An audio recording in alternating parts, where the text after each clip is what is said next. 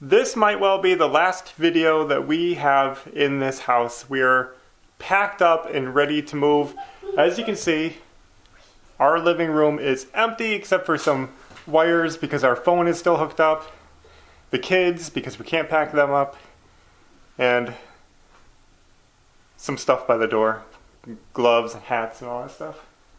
Now, if everything goes smoothly, our closing will be on Thursday, the 27th. And right after closing, we're on the road, we're done. So we're handing over possession on Thursday, so we have to have this house empty and ready to hand over. And that's what we've done. We've been packing up everything. So Sold a whole bunch of stuff. I'll show you what's left. I'll show you what we've been doing for our living conditions and um, show you the garage and all that stuff. So let's take a walk around. So you guys wondered what we were going to sleep on if we got rid of our bed. So we got rid of our mattresses. We're going to move super light. And instead we're sleeping on these roll-out mats, which have been working for the time being.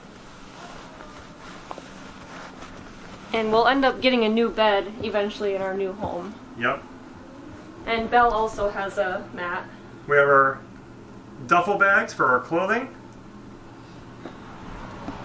Here's the kids' room. Belle also has her mat rolled out. Maverick keeps his his mattress. That's the same mattress that was in his crib. And he does really good sleeping on that. Sometimes he rolls over into Belle's bed. and that's it. The room is empty. So, how's it been in an empty house? Perfect. I don't really notice a difference. Still cozy without the couch. Yeah. Yeah. Okay, so speaking of couch, yeah, a lot of you guys have uh, wondered how we're going to sit without a couch. Well, we just sit on the floor. And that's actually really common for us. We sit on the floor quite a bit, even with the couch. Yeah. And that's the other thing is people said, well, how are you going to eat without a table? Well, to be honest, way before we got rid of our table, we stopped using it. We actually enjoyed just having a picnic. So we sit in kind of a circle and just eat on the floor, Yep. and it's totally fine with us. So the table was actually not a big loss for us because we actually weren't using it at all. We For a long time. Yeah. Like months. it's just I don't know. Yeah. We do things a little unconventionally. We just like to hang out and and just have a little relaxed, informal picnic when we eat. It is surprisingly beautiful out today for December, so that is good that we're be, going to be moving on a relatively nice Pretty warm. weather. Um, let's open up the garage and show how clean that is. You know, we've always struggled with keeping the garage clean.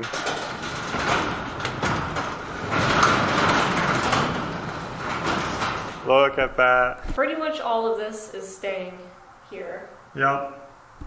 Um, we're probably not going to take the mower. I don't see a way to take it. We don't need the ladders right now. And that's just paint and stuff from the house. So, yep, empty. And we've already packed up the cars. Those are all set. Mhm. We're ready to go. So we've managed to do it. We got everything cleaned out. Ashley has killed it on the selling. All of this is really because of her because she listed every single thing that we had to sell online, dealt with all the comments, all the emails. Setting up times. All so everything is good and she even got rid of all this trash through online, the, all the the extra stuff that was Yeah. left over. Our pile that we had, we, we said twenty dollars takes the whole pile, and somebody came and got it and gave Yeah. us twenty bucks. Sometimes you got to do that to get it out of here. We are running out of time, but she did it. So we're good. We're so excited to be finally moving. Not only are we moving, but we're also heading into the end of the year. And I thought, like, what a great time to talk about this year. A look back. We try not to look back. I always like to look forward. I look to what's ahead. I hate looking back. But we have to take a moment to appreciate what happened this year that brought us to this moment. It's crazy. yeah, One year ago, we were selling our house in Kokomo. in desperation because we were in a really tight spot financially and we just couldn't live in the city any longer. We just had to make a change in our life, and that led us to this property. And when we bought this place, we had no idea we would be moving again No. already. It's insane. We just like to just go with the flow. We always say that. We felt right about this place. We said, let's do this. And honestly, it was the only place available that was fitting our needs for that time. We have no regrets. It has been awesome. And it's going to get us a better property that we could have never dreamed of owning. Yeah. It was definitely a good stepping stone for us. It's unfortunate that we didn't get to work on the schoolhouse. That part I totally understand, but it's just not in our plans right now. It just didn't work out that way. We're happy to be moving forward, but like this year has been huge for us. We got so much done. We've learned so much. I mean, we bought this place and we cleared an acre and a half by hand of Yep. full grown in field. Using loppers, reciprocating saw, lawnmower, We- chainsaw. Worked on the mobile home for our first time. We lived in a mobile home and we actually learned a lot about mobile homes, and that was kind of a cool experience for me. Yep. I like working, I like working on houses and building and stuff, so I've never worked on a mobile home, and it is a little bit different, um, but a lot more simple than you'd think. Yeah, like the windows are so easy to put in with Yeah. the tacky tape. So we We fixed up the barn. we grew our YouTube channel substantially. Yeah. Every just so many things happened this year that was just Yeah. amazing. It was such a cool year. When we moved here, we were at like 6,000 subscribers. Mm-hmm. So now we're at, Close to 32,000. yep. It's amazing. Yeah, the barn, just everything. We did so much here. We learned so much. And behind the scenes, we've been doing a lot of studying about what animals we want, different breeds of chickens, different, I mean, everything from sheep, goats, cows, everything, just reading, learning, taking it in, learning about gardening. Um, you know, we know so much, but we don't have a lot of hands on experience. We haven't had a chance to. To Implement it. do it. So it gives us a chance to really just keep our minds open and learn new things. And we've been do- doing that a lot.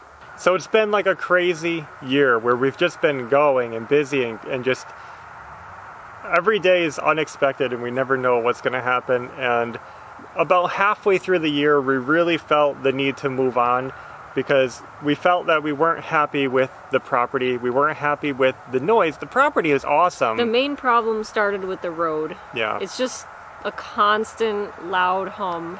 And we knew that moving in that there was a highway here, but we didn't know how it would affect us mentally Because we've never lived around something like that before. and also how much it would affect our videos. You guys wouldn't believe how much video we had to get rid of because the highway's so loud, it's just obnoxious to listen, listen to it. yeah, especially when we face the camera towards it, it's like really annoying. So we made the decision, we committed, and we are very goal oriented. So we, if we have a goal, we just push, we just get it done. And that's what pushed us into getting the mobile home ready. We never intended to do that, is to redo the mobile home. No. we did that so we could sell it and feel good about it and make some profit. It just all worked out awesomely. And that's one of the things you got to remember is don't get yourself stuck in a rut and feel trapped. I know sometimes you really can be trapped and that's mm-hmm. the worst feeling in the world. But think outside of the box and if you don't feel happy with what you're doing or where you're at, look outside the box and think what do I need to do to make my life better? And work towards it. Do it. Commit to it. That's what we've done for years. You might have to sacrifice, you might have to give up some stuff. We certainly have. But in the end, it's going to be so worth it. And we're excited to be moving to a better property that we Can't hope wait to show you. we hope that we love it so much more than this. Now, before we wrap this up, I wanted to talk about why we chose to do this extreme downsizing, where we just got rid of everything we owned. We got rid of our couch, our table, our beds, our furniture, just everything. Everything's gone, and I know we've had a lot of questions, and we've tried to kind of explain it here and there, but I'm hoping we can go into it a little bit deeper piece by piece and explain our thoughts mm-hmm. behind it because this is good for us, but it's not necessarily good for everybody. If you guys um, are looking to move, you might not want to downsize the way we are doing it, and we're not trying to influence anybody in that way. Yeah. It's just what works for us right now. The number one reason that we got rid of everything is because we want a fresh start. And I can't stress that enough that we don't believe that possessions, items, material things necessarily carry energy, but they certainly carry memories and emotions that can affect how you feel. And sometimes it's good to just get rid of stuff, especially stuff that you've had for too long, so that you can start fresh and have something that, that doesn't have any attachments. It's just new. That's just how we feel. Yeah. It's a fresh start. we want to move light also. Moving light is important to us because mentally it's easier. Um, the house we're moving into will need work, and that means the more stuff we bring is going to be the more stuff in the way, Yeah. making it harder to work on the house. You, you have to like shuffle everything from room to room. We have done that. Boxes from here to there to here to there, and it's annoying. We decided to keep it really light. so whatever fits in the vehicles, that's all that's coming with us. a lot of you guys have said, but won't it cost more to replace stuff than to just move it with you? It depends. It depends on what you have and what you're moving. If you guys have brand new um, bedroom sets or something that you spent hundreds of dollars on, yeah, you're going to lose money on it. You're going to lose money and it'd be better off keeping it or bringing it with you if you like it. The number one thing is that nothing in our house really had any sentimental attachment to us. It's just stuff we got. It wasn't our style. We didn't like it. It's It not just stuff we found at like thrift stores and stuff. yeah, and it wasn't expensive. So there was no like burden to keep it. We didn't buy anything like for a lot of money. Everything's Yeah. pretty cheap. And what I said about not fitting our style is that when we move into this house, we want it to be a long-term stay. I don't know if it's our forever home, but it's certainly going to be our long-time home. Mm-hmm. We want it to feel comfortable to us, so we're going to try to make it our own style. And the pieces of furniture we had or had didn't fit into that style. No. They wouldn't go with what we want to achieve in our home. So it was okay to let go of them. Now, about our mattresses. If you look up online the average lifespan of a mattress, it's eight years. Believe it or not, they can last longer, but the average lifespan is eight years. And our mattress was eight years old. So our mattress has been with us for eight years and we've used it. It's We took good care of it. We just. Doug doesn't find it comfortable. I really never found it comfortable, and we haven't been like super happy with it. Yeah. And since it's eight years old and it's toward the end of its lifespan, we figure why move with it and then have to get rid of it at our new house because we're gonna have to buy a new one eventually anyway. So we thought might as well take the opportunity to get rid of it now and not have to be hassled with moving an eight-year-old mattress. Yeah. When I listed that online, I probably had about 50 people wanting it. It's crazy. Yeah. That was unexpected. A lot of people, that's good. Somebody else can use it, and hopefully they like it better than we did. It wasn't terrible. I just prefer firmer mattress than it was. Yeah. So that's why we got rid of the mattresses. They were old, and we just didn't like them. The same with Belle's. Uh, it was a cheap mattress, cheap, cheap, and again, it's many years old. Mm-hmm. It's just due for a new one. That's fine. The dressers that we had here, we bought it a, a second hand. So we had a dresser for Belle's room, and that was under forty dollars. It was like thirty some, thirty six dollars or something, and we sold it for fifty. Mm-hmm. So we made money on that after using it while we were Yeah. here. You can't go wrong with that. There's no point in really for us to move a thirty-six dollar dresser that we don't really care about. And also our white nightstands. We bought those for like $20 a piece and we sold them and made a profit. Yep. So, The uh, we had another dresser that we had in our living room for storage, and we bought that for like thirty some dollars, I think, twenty or thirty dollars. We sold that for forty. So we've made profit on piece after piece of furniture because we bought it so cheap. We looked for good deals. so we didn't have too much time to sell our furniture and things, so we wanted to put kind of like low prices on them so that we can guarantee that they sell. Because sometimes you can like list something and nobody wants it for weeks. Yeah, and we really were in crunch time because even though it seems like we sold prematurely, we still have a few days. With the Christmas holidays, nobody's going to be buying and selling stuff online. Nobody's Yeah. going to care about buying our used furniture, so we knew we had to get it done that first week. We had two weeks to move. We had to get it done in that first week, or we're going to be stuck on with stuff. And so Ashley really just pushed it out, got it done, sold everything, And we feel really good with the money that we made and the prices we sold stuff for.